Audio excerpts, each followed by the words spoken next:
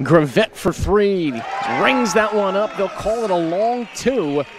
Starting point guard Josh Magette, who suffered a thumb injury in the loss to Capital City. And on cue, there's Hassani Gravett with the finish in the lane.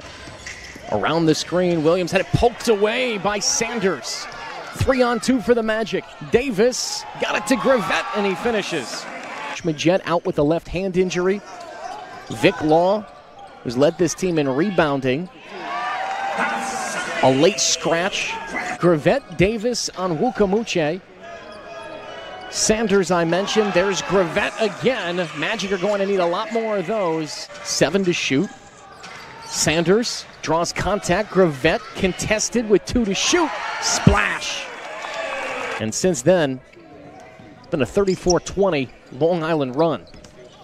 Gravett, 14 first half points, make it 17. He splashes his third three of the afternoon. Magic rebound off the miss, and Hassani Gravett looking for his first field goal in the second half, and there it is.